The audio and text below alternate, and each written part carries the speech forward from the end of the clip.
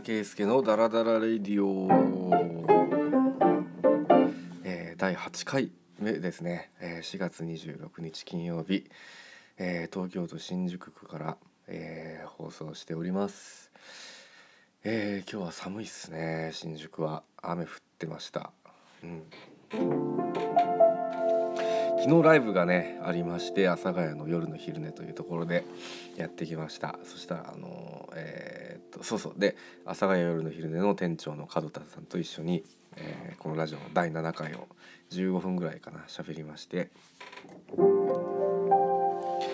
でその後ライブをやりましたがまあ僕不人気な人人間なんで、えー お客さん、えー最終的に、まあ、2人来てくれましてで、えー売り上げが530円。えね吉本の芸人みたいな 感じではい非常にね赤字でございましたけども えーまあでも門田さんとね一緒にいろいろ喋ったりして楽しかったですがまあもうちょっとね人が来るようにね、えなりたいもんです。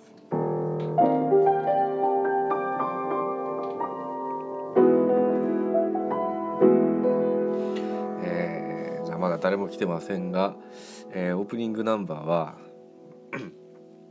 あのコウっていうラッパーがいてもう大好きなんですけど、えー昨日ねライブが、まあ、2人、えーお客さん来てくれましたけど、まあ、0と1の違いはもうかなり大きいということで2人でもめちゃめちゃ嬉しいわけですけども今から歌うコウさんのカバーで「飛行機」という曲は、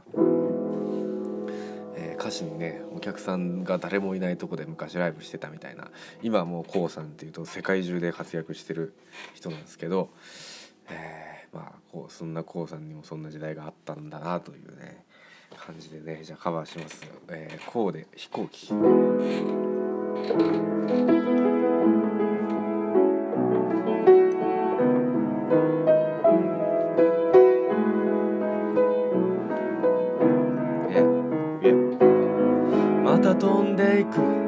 飛行機に乗って遠いとこへ行く。また飛んでいく。また飛んでいく。高い空の上。上。高い空の上。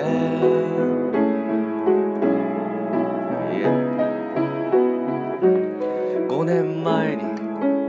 お客さん誰もいないとこでライブしてたの忘れてないし。運送屋で毎日乗ってたハイエース。仕事も楽しいけど大変。あやりたいことやりてえから今も iPhone に歌詞書いてる。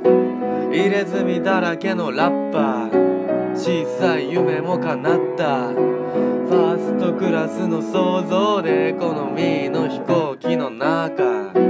東京。羽田成田からどこ？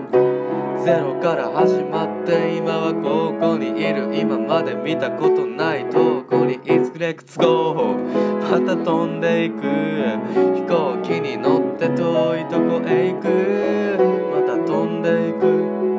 また飛んでいく。高い空の上。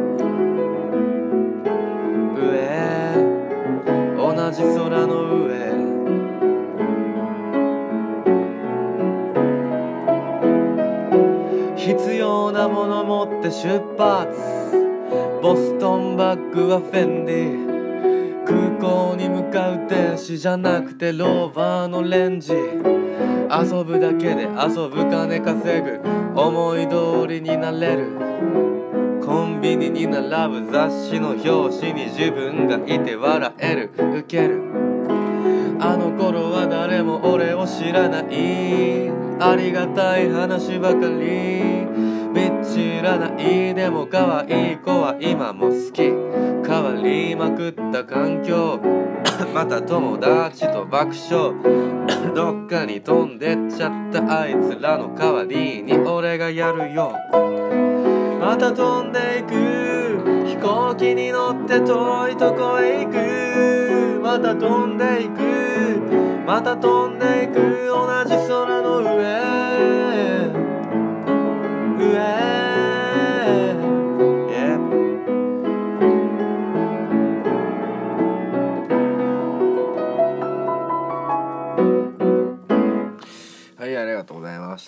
飛行機でした。今日は誰も来ませんね。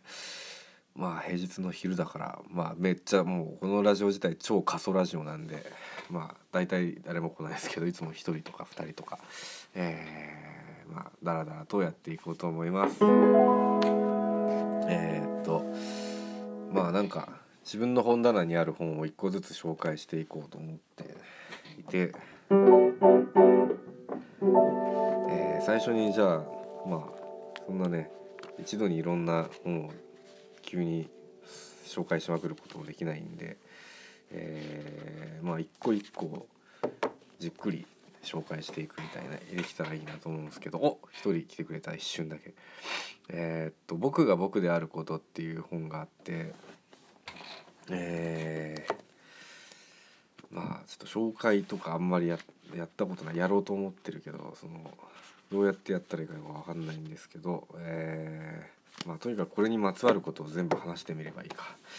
えー、まずこの本に出会ったのは今からえー、と98年ん？9年前の2010年ですねあでこの本にまつわることはいもう一個の歌になってましてそれを今ちょやっちゃえばいいんですけどややってみます。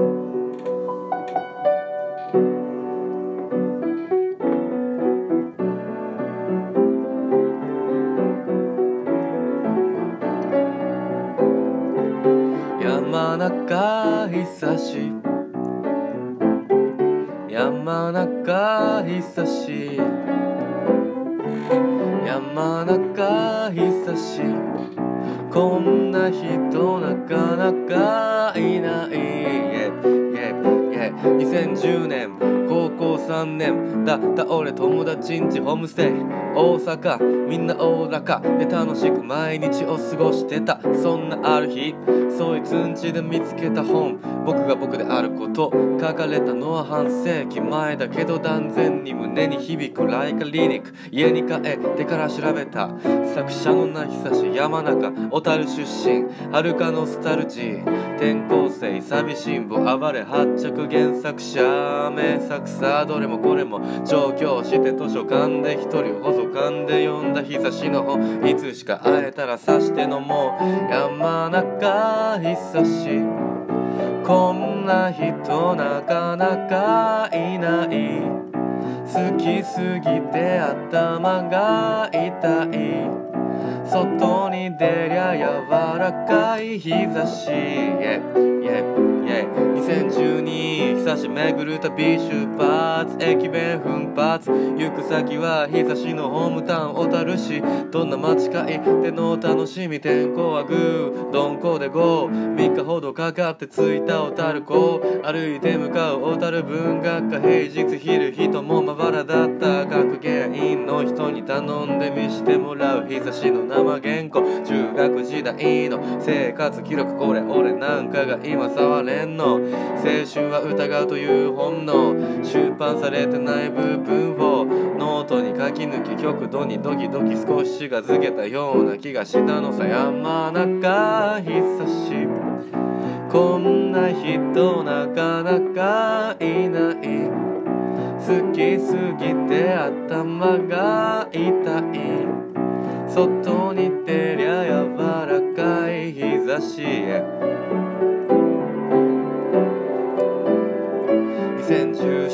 ファンレターを出しまさかの返事来て取り乱しはがきの住所頼りにアポなしで突撃取材にインターホンをして待機本当ほな俺に対し軽減に思いながらも機嫌がよく入れてくれたぜ。山中久しよ久しを巡る旅の日記本人の前で広げた時うなずきながら聞く久ししかし奇跡みたいな話よ思いつきてこそ成仏せん初心はするるべからずって二つの言葉を俺にくれたその二つの言葉を俺にくれた山中久し Yeah yeah yeah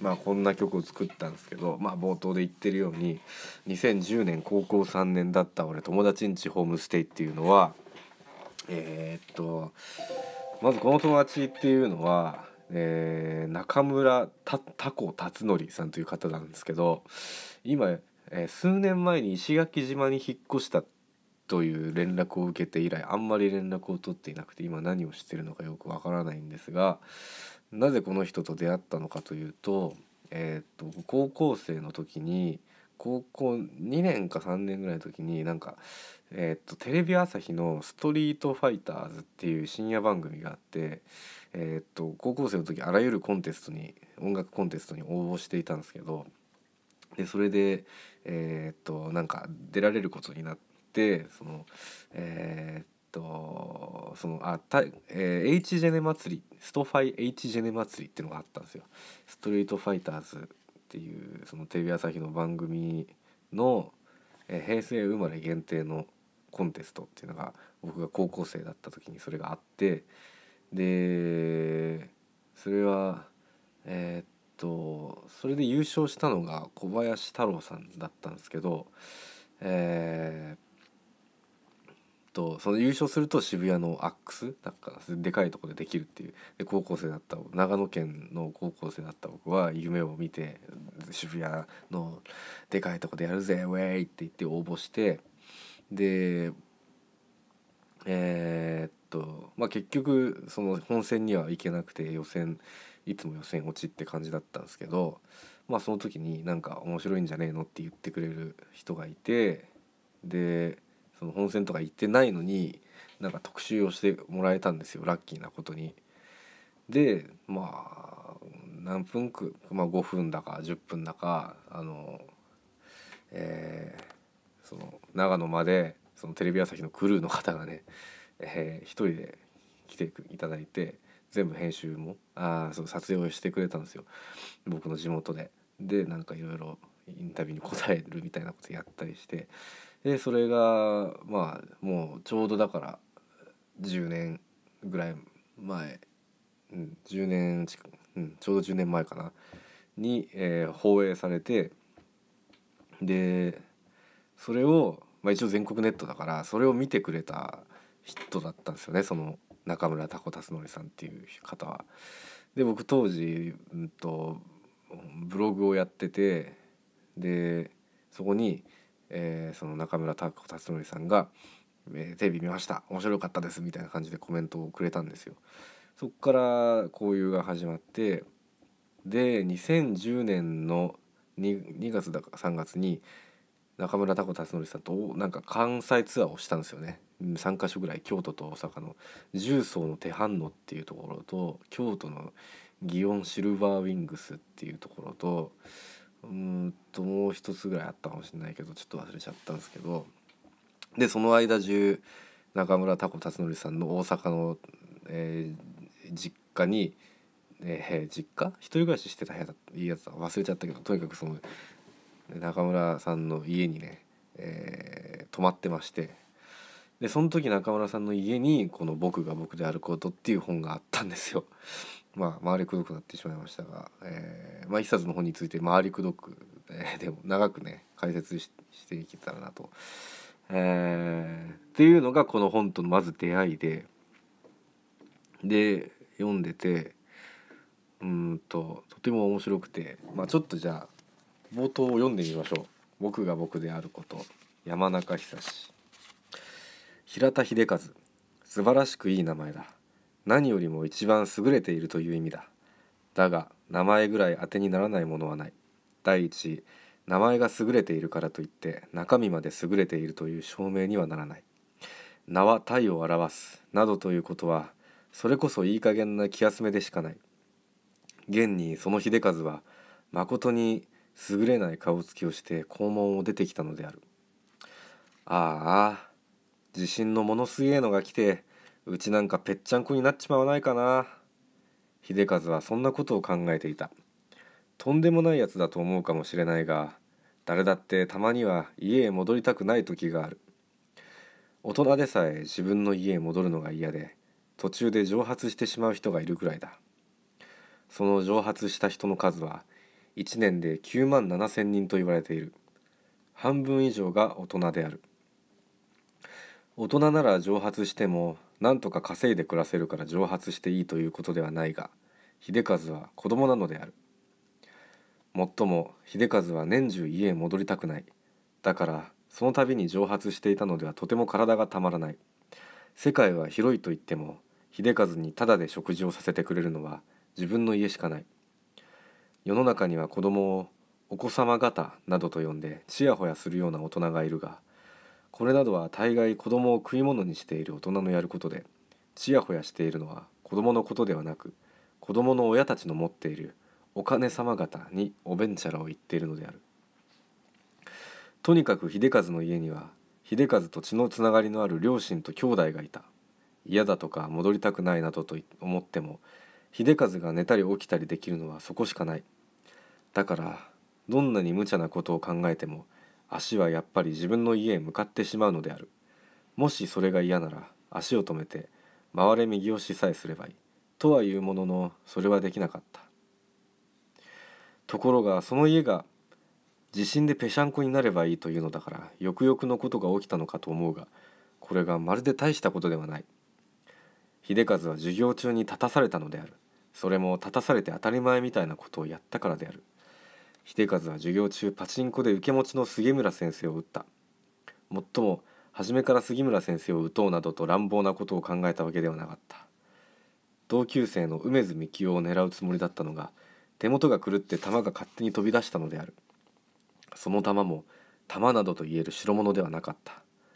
首筋をゴリゴリこすってボロボロほじくり出した赤を鼻くそでこじ鼻くそでこね合わせて合成した眼薬だったのである。それがこともあろうにまともに杉村先生の口へ飛び込んでしまったのである。そんな非衛生的なものを口へ飛び込まされて頭に来ないとしたら杉村先生はよっぽどの大人物かうすらバカかのどっちかである。というね今冒頭の3ページぐらい読みましたけどあのまあエンターテインメントなんですよね。笑えるというかでひらがな多くて 僕バカなんですよあのえっと僕中学高校と6年間ずっとほとんど勉強せずに6年間ずっと授業中に歌の歌詞を書いてたんですよね。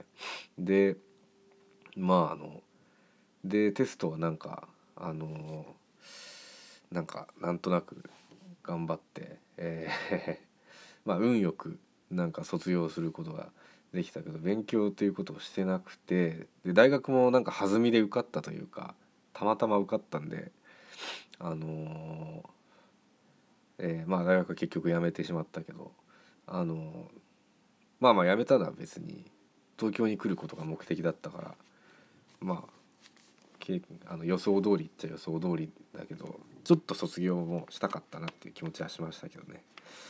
えー、でも卒業が目的じゃなくて状況が目的だったからえー、まあそんなわけでこういうこれ小学生向けの本なんですけどすごくね読みやすくて当たり前なんですけどだから僕小学生ぐらいの知能しかないんだと思うんですよね。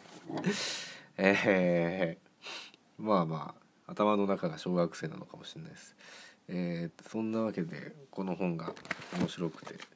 じゃあまあ解説までいけなかったけどまあ今朗読してちょっと自分の中にあのこの本のエッセンスがなんすかね。いや今日は本当に誰も来ないですまあじゃあどうせ誰も来ないんで好き勝手ややっちゃおうと思います。えー、じゃあ残り時間はですね今朗読しましたけど朗読するの楽しいなって感じで朗読がね楽しいんですよ最近。なんでえー、っとちょうど残り10分ぐらいなんで10分ぐらいかかる朗読があってあ一人来た。すごい。まあじゃあ朗読をねやって終わりますよ。えー、っと今からやるのはえー、っとあの僕の本棚に入ってるえー、山本周五郎という時代小説作家のえー、っと「サブ」という小説がありましてそれの中で一番好きなシーンがあってそれをえー、っとね読みたいと思いますが、うん、お一人来てたけどいなくなった。まあこれ前後のストーリー言わないと意味わかんないと思うんだけどまあいいや。まあどうする誰も見てないから。じゃあ行きます。お前には話すことがある。と岡安は言った。こっちへ来てくれ。清七は縁側へ出て行き他の同心たちは役所の方へ去った。岡安は廊下を曲がっていつものあの小座敷へ入り英治と向き合って座った。岡安喜兵衛は何かを思い出したように一度座ったのを立ち上がって北側の窓を開け元のところへ戻って座りそのまましばらく黙っていた。今このと岡安は窓の方へ手を振りながら言った。風に花の花が匂っているがお前にわかるか？英治は三度ばかり空気を嗅いでみてから黙って首を左右に振った。今吸っている9月の風のと岡安はまた言った。この爽やかなひんやりとした味が私には何とも好ましい。風には四季それぞれの違った匂いと味と肌触りがあるが私はこの秋のひんやりとした爽やかな風が一番好きだしこの風を味わっていると生きていることの喜ばしさが感じられる。ことに今のように木星の花の花に染まっていたりするとな。英治はいぶかしそうに岡安の顔を見守っていた。自分を読み止めておいて何のために風の匂いだの肌触りのことなんか話すんだ。どういうわけだと英治は思った。お前はどうだ？二呼吸ほどして岡安は静かに聞いた。風の肌触りに秋を感じたり送られてくる花の匂いに楽しんだことがあるか？違う。送られてくる花の匂いを楽しんだりしたことがあるか？英治は答えなかった。まだ年が若いからと言って岡安は唇に微笑みを浮かべた。そんな年寄り臭いことは知らない。と言いたいところだろう。しかしこれは年の老若にかかわらずそういう気持ちがあるかないかの話だ。さあよく嗅いでみるがいい。今匂っているのは木星の花だぞ。御用はそんなことですか？いけないか。私は風だの花の匂いなんかに用はありません。他に御用がなければ部屋へ帰ります。宝生の式だから岡安は浅上下に扇子を持っていたがその扇子を半ば開きピシリと閉め英治の言葉が聞こえなかったような表情で窓の方へ目をやった。前には興味がなくとも秋の風はこのように秋らしく爽やかに花の顔を送ってくる。と岡安はゆっくり言った。だがこの風も一度怒り出すと暴風になって家を吹き飛ばし波を巻き立て怪我人や死者まで出すようなことになる。7月の嵐でこの島はめちゃめちゃにやられた。今はお前たちの力でほとんど元通りに立て直されたがもしも人間があのように暴れたとしたらどうだ？風を罰する法はないが人間には掟というものがある。誰のためにです？英治が鋭く反問した。強い者のためにですか？弱い者のためにですか？世の中全体のためだろうな。あなたはご存じないんです。それを一度話したかった。私はお前のことを詳しく知っているのだ。岡安は柔らかな口ぶりで言った。お前が怒るのももっともだ。綿分のやり方も悪いし目明かしの扱い方も良くない。宝庫堂にも他にもう少し考えようがあったろうと思う。それは確かにその通りだがここで一つ運と不運ということを考えてみよう。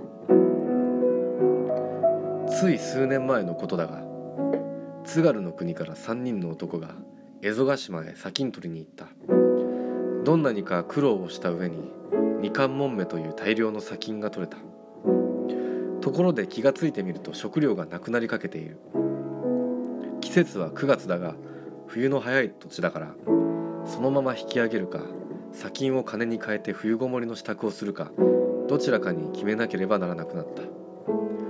だがそこには砂金がまだ豊富にあり引き上げるにはあまりに惜しかった。それで冬ごもりをすることに決め必要な用具や食料を買うために一人が砂金を馬に積んで出かけた。ところの名はわからないがその部落までは行き帰り10日ほどの距離だという。残った2人はなお砂金を取りながら待った。5日7日と過ぎ10日12日と経ったが出かけていった男は帰らない。食料はなくなるばかりだから2人はわずかな米に野草を入れ粥にして食い延ばした。そのうちに2人は砂金を持っていった男がそのまま逃亡したのだと思い後を追おうとしたがすでに半月の夜も経っているしこちらは乏しい食事のため体が弱りきってそんなことは不可能だと分かった。男が戻ってこないとすれば冬ごもりの用意と食物を集めなければならない。2人は川の近くに洞窟を見つけ鳥や魚や草の根木の実など食べられそうなものをできる限り集めた。2人はその土地の冬がどんなものか知らなかった。そして雪の来るまで砂金を取り続け雪が来て作業ができなくなるとその洞窟の中へこもった。寒気の厳しさは彼らの想像を絶しそれをしのぐための人食物はたちまち減少していった。2人は逃げた1人の仲間を呪いその仲間を1人で出してやったことで互いに相手を責めたり憎み合ったりした。しばしば洞窟の外で獣の吠える声や動き回る気配が聞こえそれが熊か狼かわからなかったがいずれにせよ2人は助からないものと諦めた。こうして死ぬものと思い切った時3人の土民が彼らを探しに来て冬ごもりに十分な用具と食料を渡した。土民たちの話によると仲間の男はそれらの品を手に入れ馬に積んで戻る途中熊に襲われたのだそうで。土民たちにこの谷まで届けてくれと頼んだ後間もなく死んだということであった。